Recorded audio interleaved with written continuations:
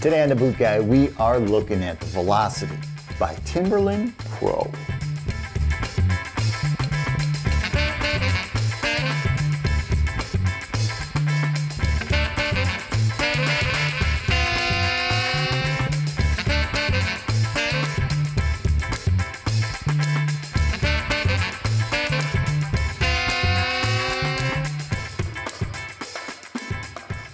Now, Timberland Pro is no stranger to this whole new generation of lightweight safety shoes. They've been doing it a really long time. They've been perfecting it for a really long time.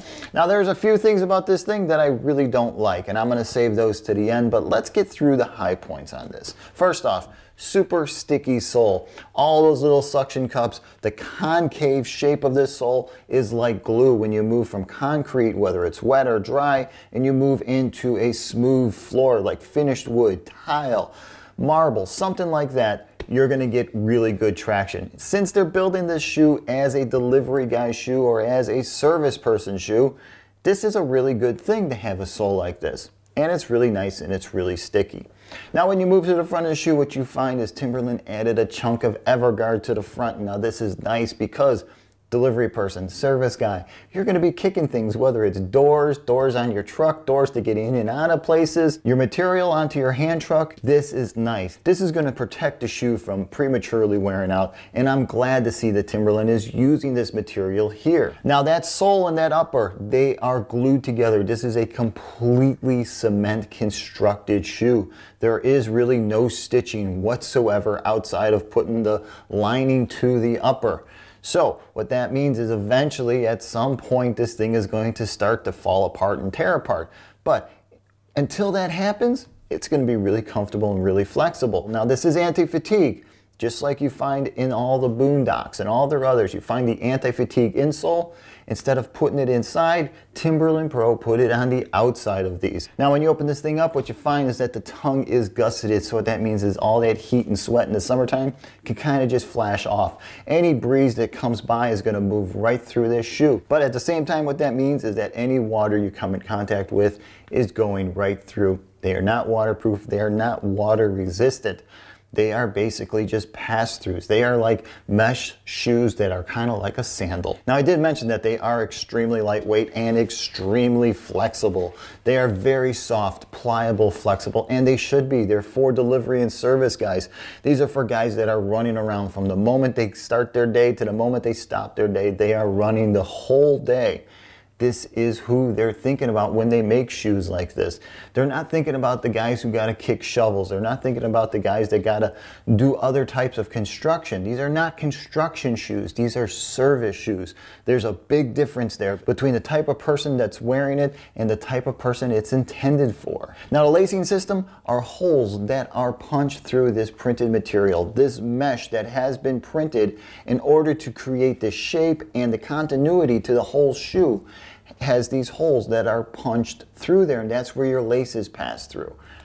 It's all right. It makes it a little difficult as your laces will start to wear out to lace these things and tie them up. It's a step forward in understanding what you can actually do when you're constructing footwear like this. Now the top of the boot, the collar, it comes down real nice. It doesn't cut into the back of the Achilles. It's more like a low cut gym shoe when you start to look at it from that perspective. When you think about how low it is in the back and that this upper part that comes over is just protecting your ankle bone because it's all padded right in here. Very thick padding. So if you're bumping your ankle bone on the side of things, it's not going to transfer through. Really nice touch by doing this whole shape that's going on here. All right, so let's get to a few of the things that I don't like about it, huh? I don't like the insole. I, I really hate this insole that Timberland Pro uses inside their shoes. And the fact that they added it to this thing that's so comfortable, really don't like it. They could have done a lot better on this. Now, of course, you don't need to have the big boondock insole inside there, the big anti-fatigue insole, because it's built into the sole.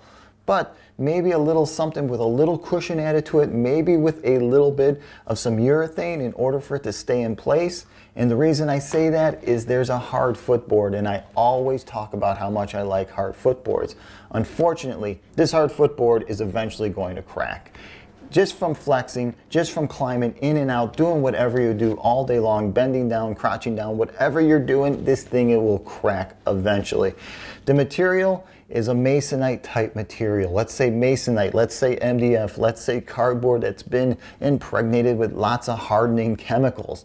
That's what's going on down in there.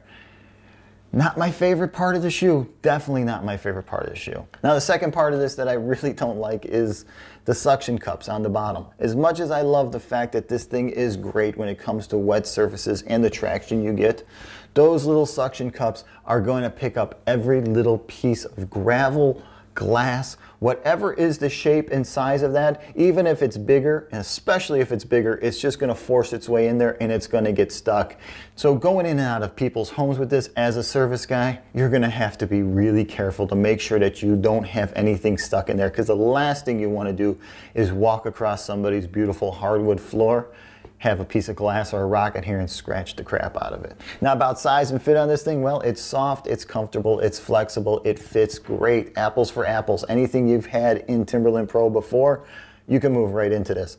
Their sizing scale, their sizing measurements for doing a last on a shoe are pretty much right on across the brand. So you don't have to worry about this being a little big or a little small if you had something else from them before.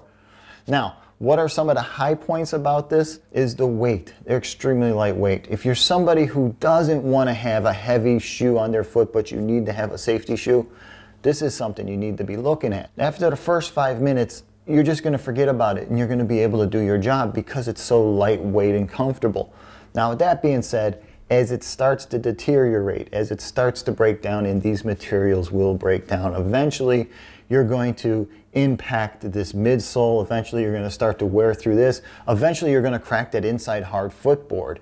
So as it starts to wear away, as it starts to break down, you got to be conscious of that because you can't be looking for this thing to last you more than nine months. You're going to have to replace it.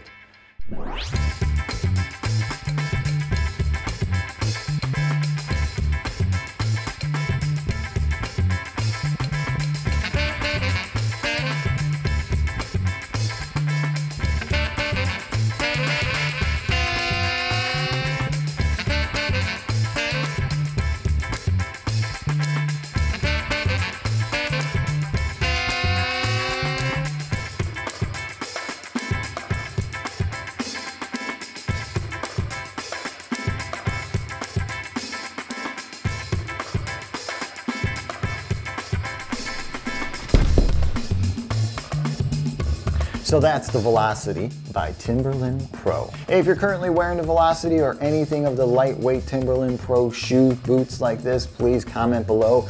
If you own a pair with this sole, please comment below and let guys know what you think about this sole. If you want to see some detailed photos of the Velocity or if you want to know more about the material they're using on the outside, remember to swing by thebootguy.com. I'll have all that information there in a blog posting titled Timberland Pro Velocity. Please don't forget to hit my subscribe button below. It really really helps out. Remember, if you're on Instagram or Twitter, you can find me there all day long. I find interesting boots like this, interesting shoes.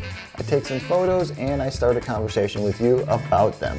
Hey, if you're about to pick up a pair of these Velocities and you just want to know whether or not it's going to be the right shoe for your line of work, feel free to shoot me over an email. All right, until the next time, I'm the Boot Guy. Thanks a lot for watching.